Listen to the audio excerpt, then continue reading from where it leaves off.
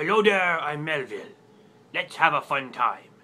Cause this week my book nook is gonna be in rhyme. And the reason for this that I'm telling you is this week the book is called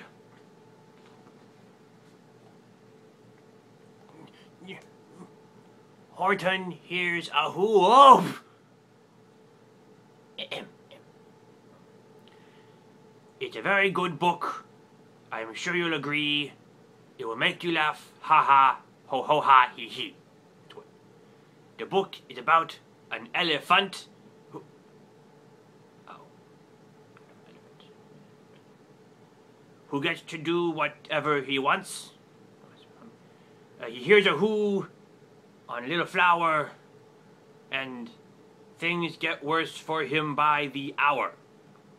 But then what he learns is that after all, a person's a person no matter how small.